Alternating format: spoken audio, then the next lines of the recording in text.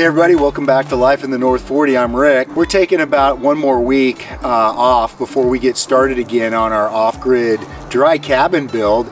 I'm super excited uh, for all the views that we've had on that video. It was fun to make. We're super excited to get that cabin built and have a little dry cabin in a really beautiful spot here in the Rocky Mountains on our property down by that creek and those cedar trees. So we're excited that you're joining us for that.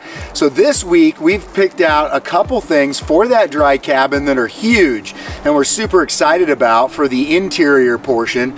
Uh, and one is uh, our heating and cooking option which is this uh, this is actually a wall tent stove or a survival stove and it touts just over about a one foot cubic uh, burn box but I measured this myself and it's about 14 and a half deep uh, for length of, of burnables or uh, fuel. 14 and a half deep and 11 and a quarter high. So it's a pretty decent sized burn box. Yeah you can't put super long material in this so you'd have to chop your stuff a little shorter. I got this stove here locally in northern Idaho um, and I paid about 200 bucks after tax for this. And, and the reason I like this several people uh, have done the camp chef uh, wall tent stove in their off-grid cabins and that's a great great item. It actually has a longer burn box. It's kind of a barrel style bottom with a flat top that you can cook on like this but it was longer. And being that our cabin is only going to be 16 long by 10 uh, deep I thought you know why not have a shorter stove um, that takes up less space because um, we'll have to put a you know some corrugated metal in the corners to protect our our tongue and groove and stuff but this is going to give a shorter footprint so I'm excited about that. This is a 160 square foot cabin. This is definitely going to heat that no problem. Um, so it, this is very sturdy a lot thicker than the Camp Chef a lot heavier duty American made and just solid, um, kind of like a real wood stove. So that's another reason I love it. So this is the Survivor camp stove, and it's actually made by England Stove Works. They make very high quality stuff. So this is a super nice item. And what we're gonna do today is we're gonna do a burn off. Before we can install this in the cabin, which we're a ways off, I thought since we're taking a break, it's gosh, rainy even today, um, I'm gonna do a burn off to, to burn off the primer and the paint on this. You don't wanna do that the first time in your cabin. And I'll put the first length of uh, six foot um, or six inch uh, black pipe, stove pipe on this as well to do that. Um, but I got some accessories also. After I bought the stove, I saw their, their uh, owner's manual and their recommendation for some extra accessories that I thought were great items. One of the things they, they sell is the fire brick, which you can get this a lot of places and you could break it to the right size. And I could have paid a little less, but I was ordering other things. So I got their fire brick that's the exact size for the base of the stove. And they, they tout that this really elongates the life of your stove by keeping fire brick in it and cleaning it out after each use. So I did get the fire brick. I also got leg extenders. These are the original legs that it came with about that high. So uh, at that height in the cabin, and we choose to cook on this, we say we got our percolator coffee pot up here or whatever, we're not gonna be bent over the whole time. I can literally have my frying pan here without hunkering over down this low. So I got the leg extensions. Oh, mommy's home. The dogs are excited. So those are a 26 total uh, length with the leg extensions. I also got this additional item, which is another accessory. It's a side shelf that mounts to the stove. And the cool thing about that is you can set stuff here and the heat, the radiant heat from the stove will keep it warm and or hot. Um, and you can take it off, do some cooling, cook more, whatever. So it's a nice accessory. And I know the Camp Chef has a side shelf too, but again, this is just a lot heavier duty. Um, and then another thing that I got here is they sell a collar for this that mounts in, has uh, metal, uh, self-sinking metal screws that you screw right into the stove top. And this is your um, collar for your stovepipe. It just had a hole, you know, before I had the collar on here. So I thought obviously a collar is a good buy. So I got all these accessories after the fact. So here also another thing I got here in the final accessory is I am, this is a four inch stovepipe And so you want to run, you know, out of a cabin or something like that, you always want to use a six inch exhaust smoke stovepipe. So this is an increaser, not a reducer, an increaser that will take me from the four inches so I can run six inch pipe, which I'm going to install this today and put that first length of black pipe on here as I stated, and a spark arrestor that I'm going to use later.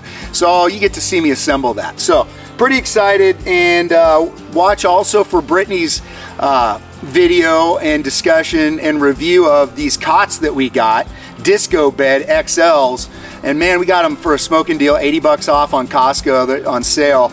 And they're real heavy duty and they're multifaceted. They turn into a couch. So we're gonna put those in our cabin as well. We're super excited.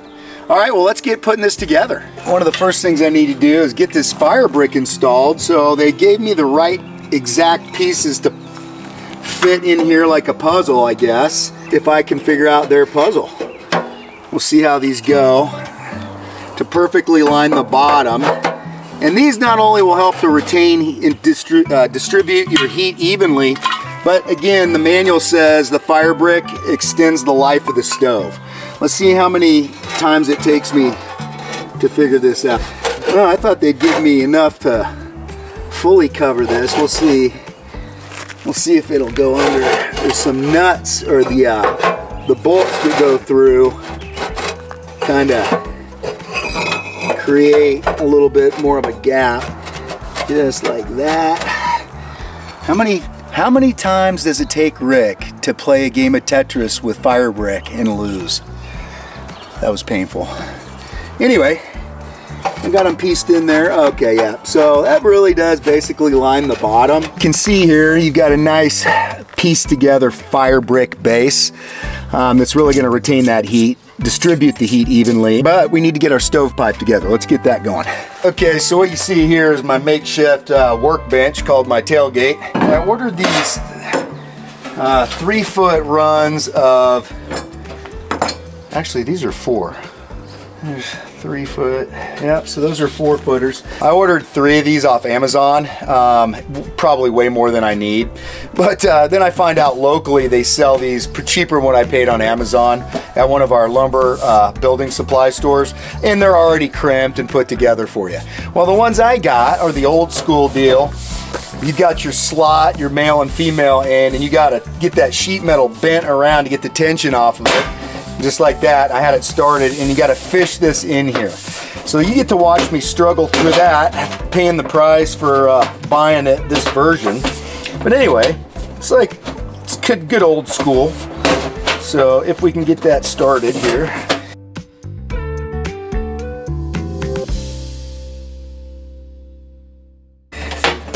Cause it ain't easy. And I'm gonna have to reshape this sucker later, cause I'll tell you what, that is not easy to get that to seat. Man, I guess it started to seat on its on its own there, so let's see what happens here. All right, so now I had to get a piece of board to set this on so I don't trash this too bad. I'm a little uneven up here, so I got another board. I want to tap that down without bending it up too bad. Let's see if I can get that to made up a little better. Still quite not flush. Man, that thing kind of locked in on me. It's tight now, and I have to, once I round it out more, it's going to tighten even more.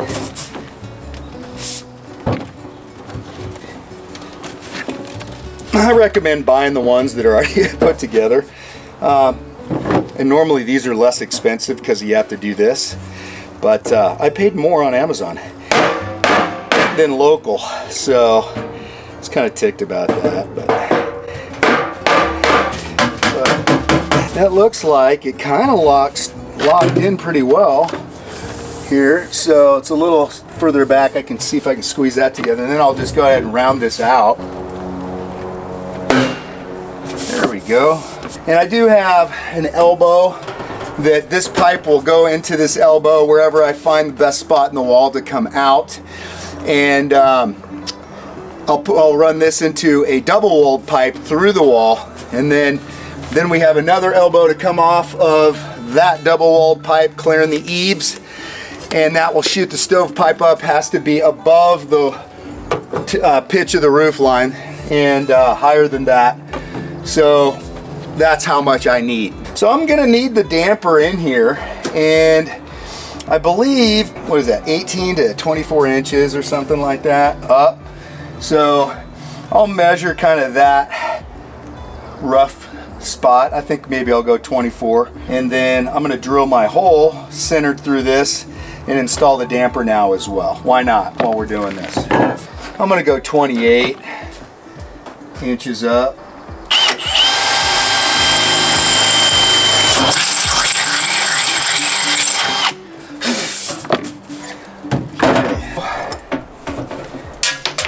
Drop that one more time, I'll be a pro.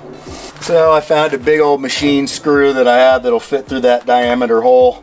Yeah, it should just go through and then I'm gonna make a dimple on the other side. That'll give me a good spot to drill my hole. So on the other side. So once I drop that plumb, I can tap that with my hammer.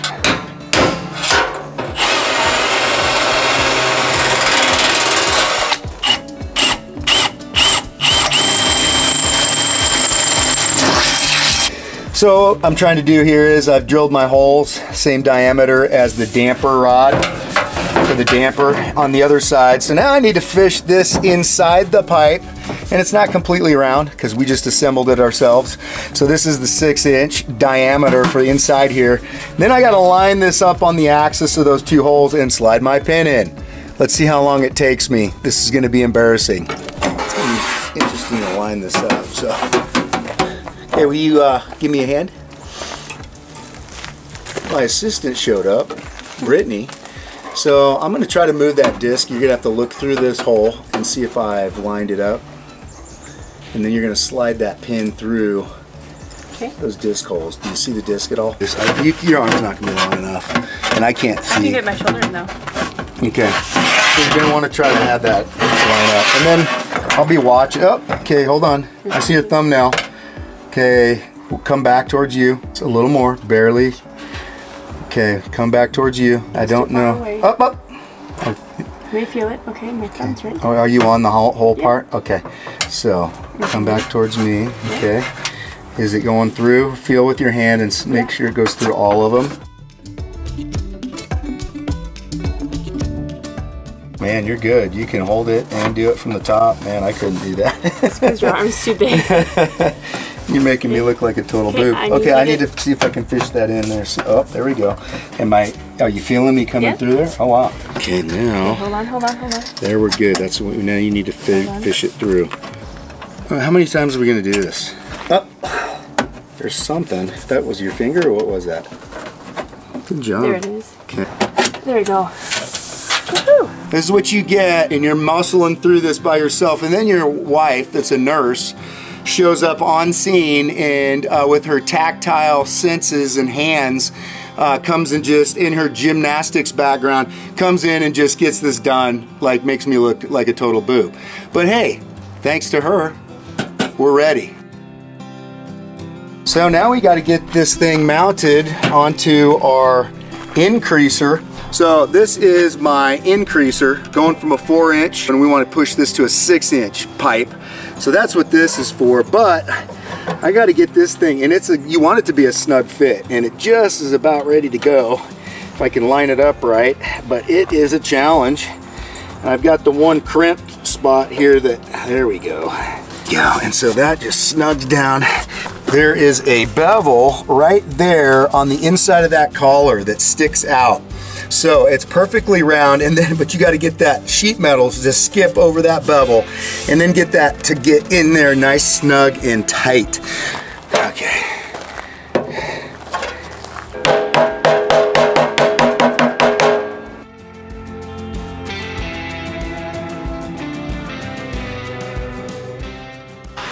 We're gonna go with that. All right, so we have to fit that into this pipe now. It's gonna be another little challenge.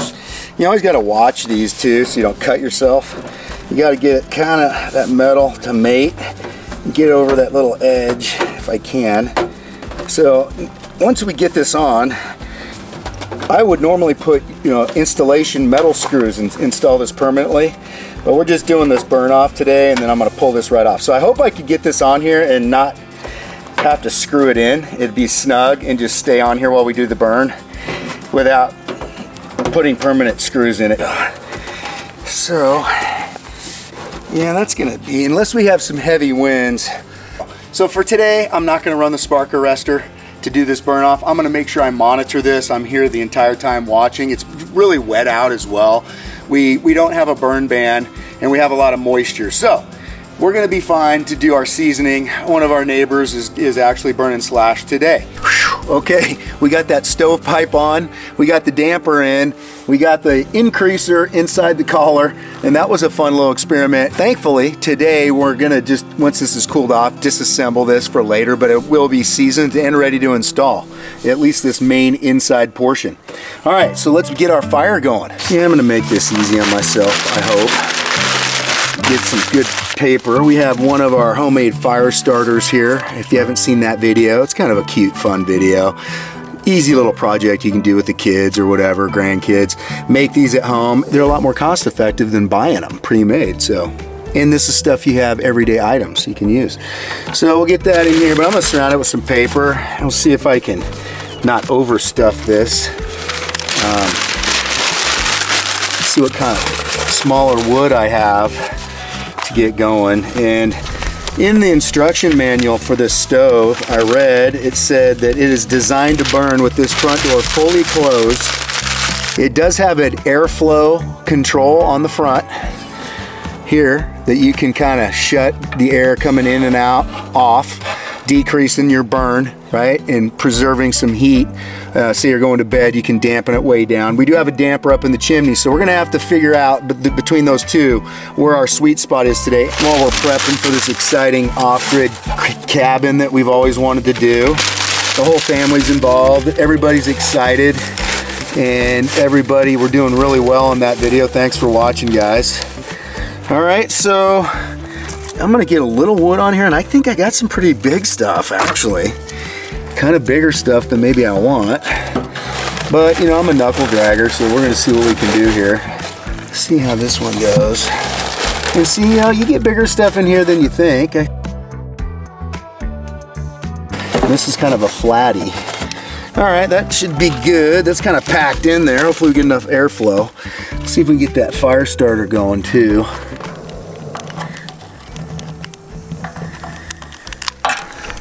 Once that fire starter takes off, we'll know it.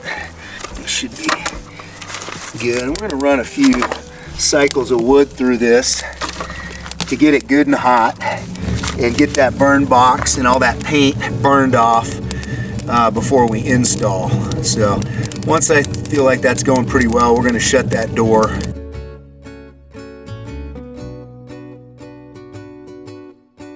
We're gonna shut that door, but I'm gonna leave it max airflow coming in, which is there. I can see straight in, there's another main hole right into the firebox. These two hexed out areas and those two hexed out, so um, you can, can shut you can shut those down one, half, whatever. You can open it fully up, so and it just goes right in. So up here we have our installed damper, and it kind of rests right about um, center mass where it's fully open naturally, kind of a little off, but uh, you can kind of shut her down.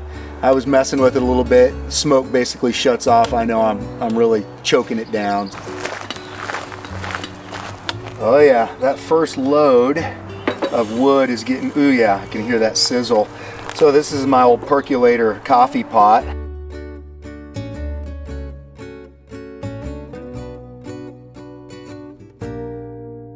Get some good airflow in there. Get that going good again. I'll shut that door and get that baby really, really hot. Pretty happy with this thing so far. Very sturdy. Everything about it. The, the uh, latch closure on it just really locks in. It's really solid iron. All these pieces are, they're not rinky dink. They're tight and they're solid. Um, just the door feels heavy, heavy duty, double plated there with the asbestos ring or the fireproof ring. Got this little lip here too to catch some ashes and whatnot a cooktop surface. Um, oh yeah, I'm starting to see it smoke on the outside. Uh, that's a good sign. Starting to cook some of that paint, some of that primer off. That's what we want. So that's going pretty well. I can feel the heat pretty good. Like I said, a cool day out here today. Uh, pretty cloudy, rainy on and off. So thankfully Brittany joined us. I'll tell you what, I was like a monkey over here wrestling this stovepipe until uh, the brains and the beauty showed up. Yeah, And, sorry, uh, kind of gross dirty. I just cleaned out our chicks' little coop, so They're getting big, huh? yeah, I think two more weeks we're going to introduce them to the big chickens, so I can't wait for that. They're eight weeks yesterday, Yeah. I think. Yeah, eight weeks. So they're getting big. We want to do it, but we don't want the other big chickens to tear them up. I see a lot of the paint smoking, uh, re really setting in and seasoning the paint actually, and I, I do have a hot spot. So I'm gonna let that go a little longer. So it's darkening up. So I had the coffee pot set there and I went to move it to see, you know, how hot it was. And I lifted it up and just that little rotation scrape took some of the paint right off the top. But you know what, this is gonna be used and that's cool. This is a memory. This is part of our exciting experience. This is gonna be something we see.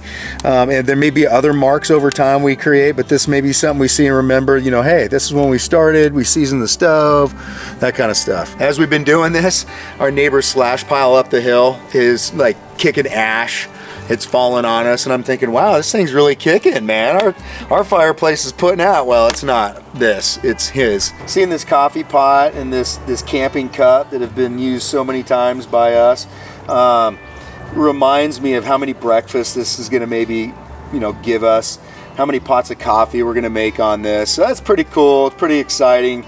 And to see that first little patina on there kind of gets you a little misty, but this is pretty cool, man. This stove is gonna be great for this little cabin.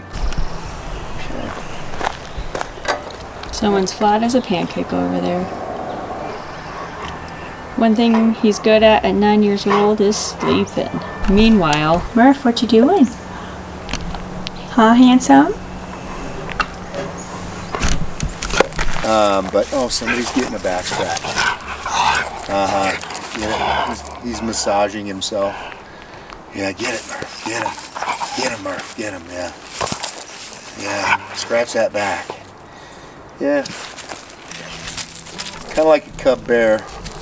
Well, everybody, thanks for joining us on this final piece here of the seasoning process of this new stove. It's pretty hot even to kneel next to. Um, we didn't put the coffee pot back on. I wanted to just season and season well, and boy, it's just darkened up where it was. So this thing is gonna get used and used well. So we're thankful you joined us on this video. We're thankful that you're excited about this stove because we sure are too.